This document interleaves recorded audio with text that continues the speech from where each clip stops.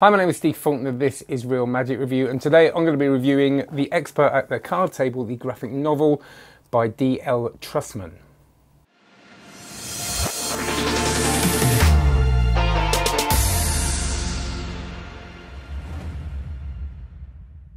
Before we do that, can you please have a look at cardmagiccourse.com? I've just written a blog on there on the best way to learn magic in my opinion, which really isn't the best way to learn magic. It's the idea that we can learn from all different sources if we go into it with an open mind. But anyway, have a look at that, cardmagiccourse.com or cardmagiccourse.com forward slash blog and, uh, and check out the course. I'm incredibly proud of it. Hundreds of videos and I add to it every month and we have live sessions every week and that's really, you really get your money's worth. It's, a, it's like a little lecture every week and a chat and it's lovely to connect with people at the moment.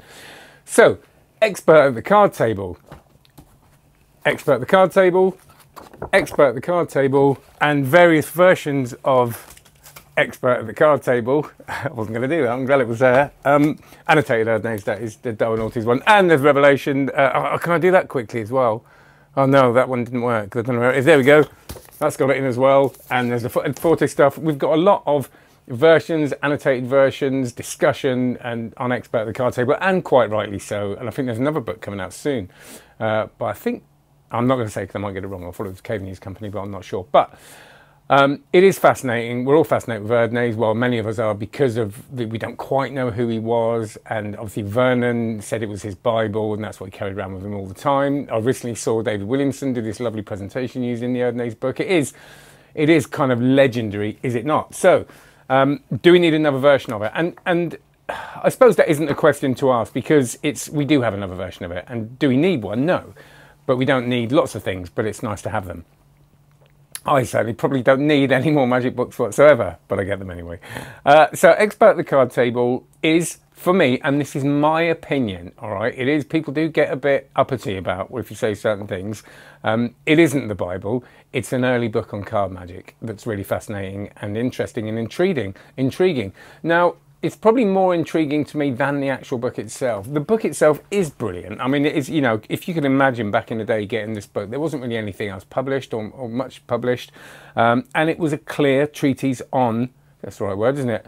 Uh, on card magic. And there's a load of stuff in it. And it isn't that hard to follow. It's, it's pretty clear. Um, it's not it's it's not the most exciting read in the world, and this is where it kind of falls flat for me. It is a difficult uh, book to learn from, and, and David Trustman says in the introduction, he always struggled with the book. He talks about how he just couldn't learn from it. It wasn't, it didn't match his style, and that is clearly not going to be the same for everybody. But it's nice to have that honesty. And he said he, he came up with this idea of creating something he could learn from because of the way he did learn, and what being a, an artist himself and a graphic novel artist. Um, and a very good one by, by the by the um, the drawings in this. He he set about creating this and, and going on this journey. And interestingly, the pictures. I'll just I'll just read uh, this from it.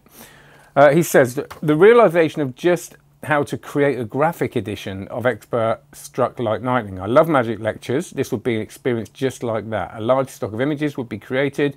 The goal would be a single camera uh, in inverted commas, uh, experience. Every paragraph will be broken down by sentence and matched with talking or demonstration shots. Then the coup de grace, I don't know how, if that's how you spell it. I'm sure you could, should, could say that in a French accent, but I wouldn't even try it. Um, the original figure drawing uh, drawings will be placed inside the new artwork. All I had to do was figure out how, and then he goes on to tell you how. Now, this is the expert at the card table. It's the whole thing. All right, it's got all the, and if you look at the original book, you know, there's there's a lot of text uh, in this, and he's taken all of the text into this. Now that for the completist is perfect, and it's if you've never read Erdnase, it's a good way to read it. It's a different way to read it, and for some people, it's going to be an easier way to read it. For me personally, only because I have kind of you know been through that book quite a lot. Um, when I did the card magic course, I took a lot of stuff and adapted it from Erdnase um, because I wanted to go back to the kind of the as original a source as I could. So I would have preferred it to be a little bit of bridge, you know, all the intro stuff, yeah, get a bit of it in there, get onto the moves, um, but that's just my own preference. Like I say, this is the whole Erdnase, but it does differ in the way that it opens up with this kind of narrative of someone turning up, an artist turning up, and he does, in the intro, um, talk about what he's found out by studying the drawings, uh, things he can assume about the artist and about the people's hands they were, and maybe they were different people at different times, etc. That's quite interesting. Also, at the end of the book, um, he will uh, show you how he sort of went through the process of getting the drawings and, and getting them onto the page and then putting, putting all the stuff around it. So uh, that was really interesting. So it does differ in that way. It gives you a little bit of a top and tail, a little bit of narrative, but you know, only, only a bit, which kind of gives you an idea, kind of gets you into it um, a little bit differently than the original work. And if you like the graphic novels, you are going to really, really get a lot out of that. Like it looks like it's a really, really nicely presented piece and a really good addition to the Erdnase canon. Again, the, the, the photos, even though they're the same, he's taken these drawings and put them in there. He's changed them. He said he prefers drawings with the lines on the hands that look a little bit more, a little bit more realistic, I suppose, cartoon realistic. I know isn't a word and is going to insult uh, many an artist, no doubt.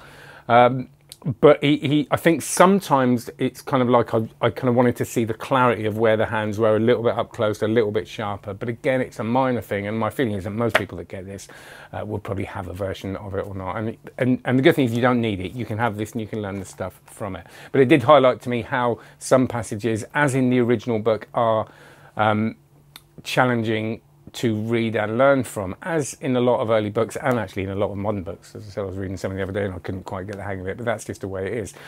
So is it really needed? Probably not, but that's okay. Is it a really nice addition to Erdnase? Yes, I think it is. Uh, am I really glad I've got it and do I enjoy opening it and reading it? Yes, I do. Am I going to read it from beginning to end at night with a, with a cup of coffee? Probably not because um, coffee at night isn't a good idea anyway. Glass of wine would be better, wouldn't it? Um, and it's not really for me a beginning ending thing. It's something to open up, have a look at, and, and take chunks from. But I think it's, a, it's it clearly put loads and loads of work into it. It's a really nice thing to have. The hardback version is apparently coming out or out by the time um, you see this. So do check out that, and that would be a really nice thing to have as well. But what a what a load of work that must have gone into that. Um, and and it's great. Again, pluses looks good. It's Erdnase. It's a graphic novel. What more could you want? Uh, minus is it's still kind of hard to learn from sometimes and can be a little bit repetitive sometimes just because of the amount of text. Uh, but well done, there you go. Uh, check out all the links below. It'll all be there. There is S there it is. SW Erdnase Expert at the Card Table by David Trustman. Oh, and check out cardmagiccourse.com. Bye.